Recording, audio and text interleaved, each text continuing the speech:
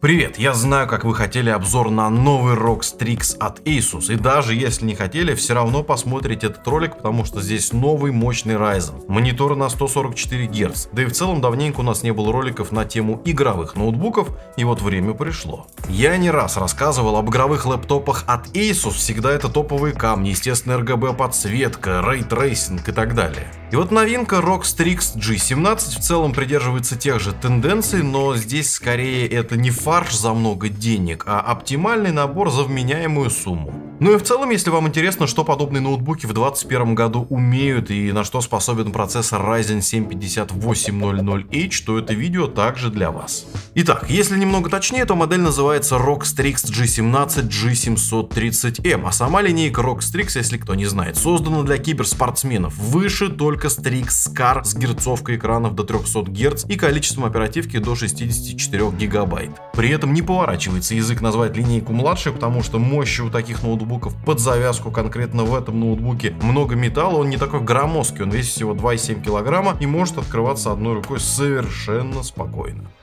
Экран. Установленная IPS-матрица имеет частоту обновления 144 Гц, при этом диагональ 17,3 дюйма. Яркий, очевидно отзывчивый дисплей имеет хорошую цветопередачу, а рамки вокруг очень тонкие. И да, веб-камеры тут нет вообще, для меня это скорее плюс, чем минус, потому что я всегда камеры заклеиваю, но вот геймерам, наверное, для стриминга она пригодилась бы, здесь в любом случае придется брать какую-то внешнюю хорошую камеру.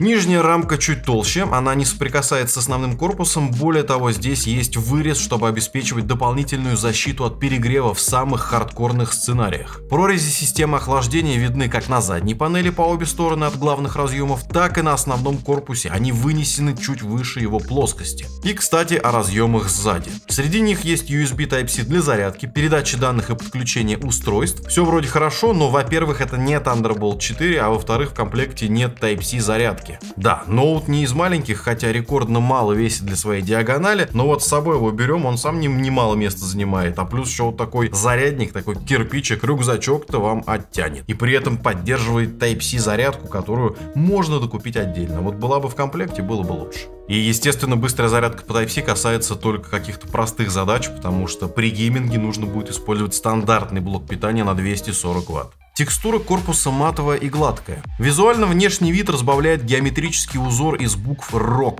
То же самое и на крышке. Ну и, конечно же, подсветка всех цветов радуги, что еще сказать. Клавиатура здесь реально очень удобная и для игр, и для набора текста, прежде всего благодаря профилю переключателей и их расположению относительно друг друга. Трекпад также достойный, работает четко, но, конечно же, чаще с игровыми ноутбуками надо использовать мышь. А поэтому, внимание, в комплекте идет вот такая мышь ROG Strix Impact, которая подсоединяется через USB-A, с левой стороны можно в любой из портов воткнуть. Порты на правой панели отсутствуют, с позиции эргономики это объяснимо, чтобы ничего не мешало крошить виртуальных врагов в салат, но с другой стороны, я если кого и буду кромсать, то туда втыкать ничего не буду сам. А так не помешало бы. По звуку. Штатные динамики играют очень неплохо. Для фильмов подойдет, для игр подойдет. Музыку послушать, ну так, если на кухне посидеть, тоже нормально. Но если мы играем в игры, другой вопрос, как машина будет шуметь, если тот же Cyberpunk запустить. Здесь, конечно же, уже придется надевать наушники. Ну и про производительность как раз и поговорим. Литера М в индексе модели лэптопа обозначает одну из основных и ключевых особенностей ROG Strix G17. Процессор AMD Ryzen 7 5800H. Мобильный чип четвертого поколения, произведенный по техпроцессу 7 нанометров и на архитектуре Zen 3. 8 ядер, 16 потоков, теплопакет 45 Вт, частота от 3,2 до 4,4 ГГц. Очевидно, что с такими характеристиками новый Strix подходит как для игр, так и для монтажа при обработке фото и 3D. Плюсом, еще раз скажу, ноутбук не выглядит как корабль НЛО, поэтому для работы можно взять спокойно. В качестве тачки для профессионала. Даже если не играете в игры особо. В линейке AMD Ryzen 7 5800H уступает лишь серии Ryzen 9, так что вполне способный товарищ. По сравнению с прошлым поколением увеличилось количество инструкций на такт, на 23% выросла производительность в однопоточном режиме, и что уж говорить об SMT. Благодаря значительно переработанной архитектуре изменился порядок расположения элементов на самом кристалле, таким образом снизилось время задержки при обмене данными между кэшем и ядрами. Что интересно, выросла мощность, но при этом и улучшилась энергоэффективность чипа. Производитель производительности камня никаких вопросов, любой AAA title легко заводится на высоких настройках, плюс в сочетании с экраном на 144 Гц и RTX графикой, жух и 2 часа пробегал по королевским битвам случайно. Я вот прям новый рекламный слоган для Asus придумал, но самое главное, что действительно радует частота кадров в игрушках. Первую очередь это всякие 3D-шутеры вроде CSGO, Call of Duty Modern Warfare, Apex Legends, Fortnite, почему нет, Valorant или Overwatch. Все это работает на максимальных настройках. Понятное дело, на больших пространствах может потупливать компьютер, но в целом все отлично. Другое дело, RTX игры в жертву визуальному великолепию как раз приносится frame rate. При загрузке больших локаций система может задумываться, но все равно отдувается она, потому что стабильные показатели частоты выше частенько, чем 4 ГГц. Но все же ощущается, что системе было бы идеально 8 гигабайт видеопамяти, вот там бы у нас были ультра настройки без всяких «но».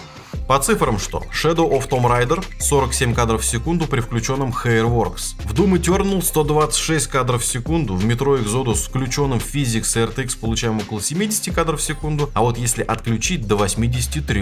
Ну и Apex Legends 131 FPS при максимальном качестве. Вердикт по играм зачет. RTX и 144 Гц решают решают. Но есть к чему стремиться, а именно хотелось бы чуть больше видеопамяти, что, понятное дело, увеличило бы стоимость ноута. В целом здесь со всей силой заведутся и Adobe Premiere, и After Effects, DaVinci Resolve. Попробовали покрутить наши ролики в 4К, в этом плане все в порядке, но, понятное дело, раз такие игры тянет, то и для монтажа подойдет без проблем. Естественно, висяки в монтаже бывают, система может задуматься, но это будет абсолютно на любом ПК, потому что какое бы ни было железо, софт у нас не идеальный. Дальше, синтетические тесты тесты. Новый Ryzen 7 в обновленном тесте Cinebench R23 ставит тестовую модификацию ROG Strix G17 в топ-3 по однопоточному тесту и в топ-5 по многопоточному. PC Mark 10 говорит, что с обработкой фото и визуализацией железа справится, а вот с обработкой видео придется местами попотеть. Но в целом результат годный, что и подтвердилось в наших тестах. Что в итоге? Бодрый по всем параметрам и крепкий по сборке ноутбук с удобной клавиатурой, отличным экраном RTX графикой и сверхнадежным процессором от AMD, который сделан по сути под любые сценарии. Что добавить? Разве что стоимость. Версия, как у меня, стартует от 145 тысяч рублей, что в сравнении с тем же Scar Strix выглядит как супер акция. Понятно, что такая стоимость не каждому кошельку, но подобные девайсы покупаются не на год и не на два, так что есть о чем подумать. Этот ноутбук и другие гаджеты, технику вы сможете приобрести по очень выгодным ценам в магазине техники DNS. Ссылка будет в описании.